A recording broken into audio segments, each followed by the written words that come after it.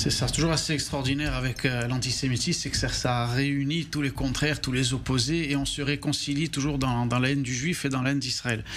Et que les, États-Unis euh, voilà, font face, comme en Europe, à une submersion migratoire très importante. Donc toutes ces vagues islamistes, qu'on le veuille ou non, qui arrivent, structurellement parlant, sont, arrivent et importent un antisémitisme, malheureusement.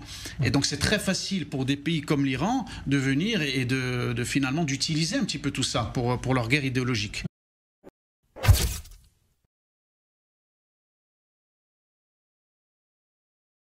On se fout royalement, on se fout royalement de la position la colonisation est illégale on en droit fout. international. On s'en fout, Monsieur Bigot. La colonisation est illégale chez nous en droit ici. international. On s'en fiche. Les tensions sur le terrain sont un obstacle majeur à la paix. Ben, moi, je parle du droit international. On Après, fout. vous pouvez parler du Moi, je droit vous le que dis. vous voulez. On s'en fout Moi, du droit international. Le international. droit international ne va pas réécrire l'histoire David. Antonelli, s'en fout du Ah, monde problème. Il s'en fout des États-Unis, il s'en fout de la France. Oui, tout il à C'est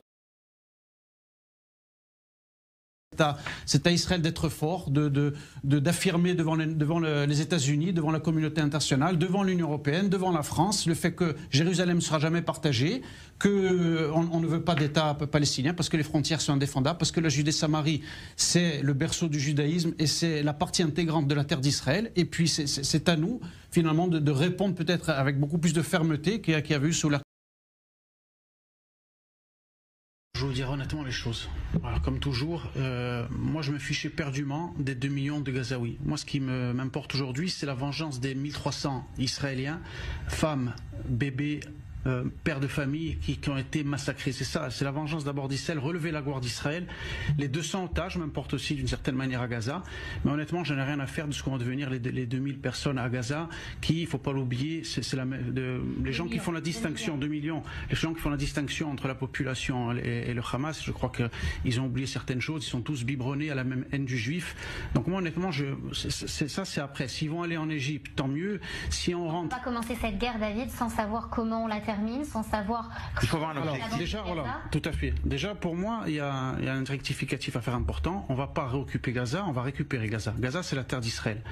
On faut pas oublier que c'est des territoires qui, ce- si on- pour moi qui, qui suis croyant, on doit les récupérer. En fin d'histoire, certes, mais voilà, on y est peut-être. Donc on doit récupérer ces terres, nous appartiennent aussi, on doit les récupérer. On va pas réoccuper Gaza, on va récupérer Gaza. Et il y a beaucoup de juifs aussi qui ont été expulsés en 2005 de manière dramatique et on le paye aujourd'hui, c'est une grosse claque qu'on a pris, qui vont, qui seraient, qui vont être très heureux de revenir dans la Gouche Katif habitée. Gaza, c'est vrai que ce sera peut-être un champ de ruines, mais on peut reconstruire. C'est pas, c'est pas trop ça. Voilà, c'est pas trop ça, moi, l'inquiétude. Moi, ce qui m'inquiète, c'est que Israël ne doit pas tenir compte aujourd'hui de ce discours moderne. On a 3500 d'histoire, on, on- a la Torah pour nous guider. La Torah, c'est, on, on, arrivé ce drame. On va dire un mot là-dessus quand même. On, vient de, reprendre la, lecture de la Torah qui commence par, le, livre de Bereshit.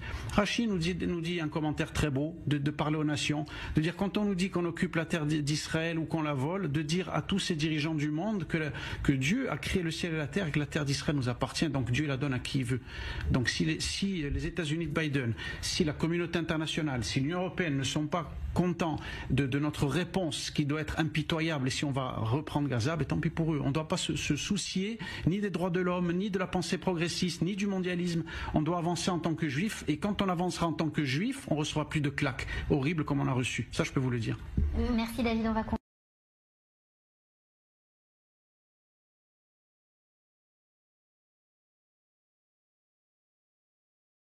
votre soutien.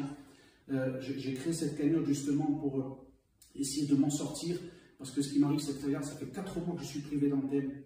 J'ai plus de travail, je vais devoir mener un combat judiciaire important contre tous ces gens qui ont déposé des plaintes contre moi. Je vais devoir prendre des avocats, ça coûte beaucoup.